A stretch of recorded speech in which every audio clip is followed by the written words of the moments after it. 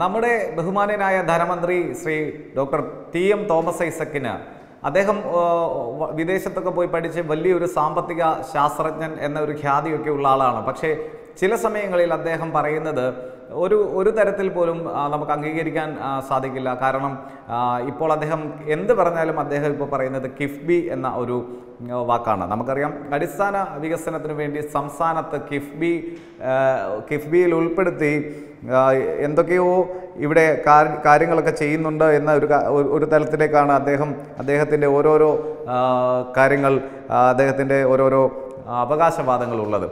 അതിൽ ഏറ്റവും ഒടുവിലായി അദ്ദേഹം കുറച്ച് സമയം മുമ്പ് ഫേസ്ബുക്കിൽ ഒരു പോസ്റ്റ് ഇട്ടിരിക്കുന്നു. കിഫ്ബിയുടെ മറ്റൊരു സ്വപ്ന പദ്ധതിയായിട്ടുള്ള വൈദ്യുതി പോലെ എല്ലാ വീടുകളിലും ഇന്റർനെറ്റ് എത്തുകയാണ്. നവകേരളത്തിന്റെ സാമൂഹ്യ ജീവിതത്തിൽ അടിസ്ഥാന വിപ്ലവം സൃഷ്ടിക്കുന്ന കെ ഫോൺ പദ്ധതിക്ക് മന്ത്രിസഭ അനുമതി നൽകിയിരിക്കുന്നു. വൈദ്യുതി പോലെ സംസ്ഥാനത്ത് എല്ലാ വീടുകളിലും ഇന്റർനെറ്റ് എത്തട്ടെ നല്ല കാര്യമാണ്. എല്ലാവർക്കും അതിന്റേതായിട്ടുള്ള മെച്ചവും കിട്ടട്ടെ. പക്ഷേ അദ്ദേഹം മനസ്സിലാക്കണം അത് കിഫ്ബിയിലൂടെയാണോ ഈ ഒരു പദ്ധതി വന്നതെന്ന്. ആദ്യം മനസ്സിലാക്കേണ്ടതുണ്ട് ഈ പരിപാടി മറ്റ് ആരുടെയോ ഒരു സ്വപ്ന പദ്ധതി അല്ലായിരുന്നോ? ബഹുമാനപ്പെട്ട പ്രധാനമന്ത്രി നരേന്ദ്രമോദി ആവിഷ്കരിച്ച ഡിജിറ്റൽ ഇന്ത്യ എന്നൊരു പദ്ധതിയുടെ ചുവട് പിടിച്ചല്ലേ സംസ്ഥാന സർക്കാർ ഈ ഒരു കെ ഫോൺ പദ്ധതിയുടെ അതിന്റെ തുടക്കം കുറിച്ചിരിക്കുന്നത്. അപ്പോൾ എല്ലാം കിഫ്ബിയിൽ ആണ് സർവം കിഫ്ബിമയമാണ്.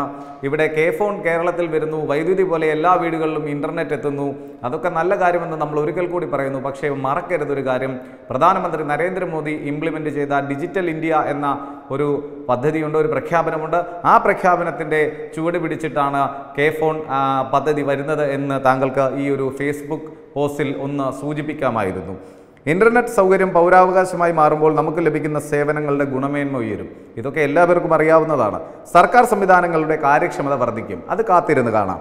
വിനോദ വിജ്ഞാന സേവനങ്ങൾ സേവനങ്ങൾ നാടിന്റെ മുക്കിലും മൂലയിലും എത്തുന്നതോടെ ജീവിത ഗുണനിലവാരം ഉയരും. ഈ സമയത്ത് ബഹുമാനപ്പെട്ട ധനമന്ത്രിയോട് മറ്റൊരു കാര്യം കൂടെ ചോദിക്കാനുണ്ട്. മിനിഞ്ഞാന്നും ഒരു റിപ്പോർട്ട് വന്നിരുന്നു. പ്രളയ ദുരിത ബാധിതർക്ക് അടിസ്ഥാന സംസ്ഥാന സർക്കാരിന്റെ സഹായമായ പതിനായിരം രൂപ കിട്ടാത്ത പല ആളുകളും ഇപ്പോഴുമുണ്ട്. അപ്പോൾ നമ്മൾ മനസ്സിലാക്കേണ്ട ഒരു കാര്യം എല്ലാവർക്കും ഇന്റർനെറ്റ് ഒക്കെ കൊടുത്തോളൂ. സംസ്ഥാനത്തെ അടിസ്ഥാന വികസന പദ്ധതികൾ അടിസ്ഥാനപരമായ ആവശ്യങ്ങൾ. ഇന്റർനെറ്റിനേക്കാളും ജനങ്ങൾക്ക് ഇപ്പോഴത്തെ ഒരു നിലയിൽ ആവശ്യം ശുദ്ധമായ വെള്ളമാണ്. സഞ്ചരിക്കാൻ നല്ല റോഡുകളാണ് പൊതുഗതാഗത സംവിധാനങ്ങളാണ്.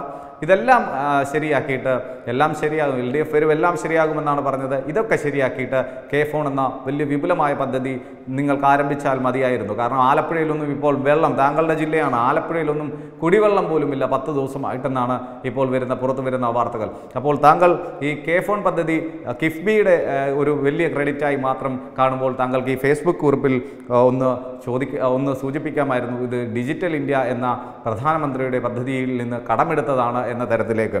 ആയിരത്തി അഞ്ഞൂറ്റി നാൽപ്പത്തി എട്ട് കോടി രൂപ പദ്ധതി ചെലവ്.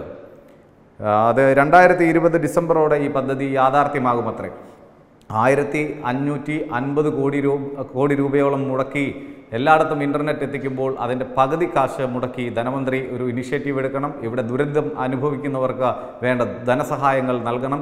അടിസ്ഥാന സൗകര്യങ്ങളുടെ വികസനവും ഉണ്ടാകണം. കെ ഫോണൊക്കെ നല്ലത് തന്നെ പക്ഷേ താങ്കൾക്ക് ഒന്ന് ഓർമ്മിപ്പിക്കുകയാണ് താങ്കൾക്ക് ഈ ഫേസ്ബുക്ക് പോസ്റ്റിൽ ഒരു ഡിജിറ്റൽ ഇന്ത്യയുടെ ഒരു വേർഷൻ മറ്റൊരു വേർഷനാണ് നരേന്ദ്രമോദി വിഭാവനം ചെയ്ത ഡിജിറ്റൽ ഇന്ത്യയുടെ ഒരു മറ്റൊരു വേർഷനാണ് അതിന്റെ ചൂട് പിടിച്ചാണ് ഞങ്ങൾ ഈ കെ ഫോൺ പദ്ധതി ആരംഭിക്കുന്നത് എന്ന് താങ്കൾക്ക് ഒന്ന് പറയാമായിരുന്നു. എന്നത് മാത്രമാണ് ഞങ്ങൾക്ക് ഇതിലൂടെ പറയാനുള്ളത്.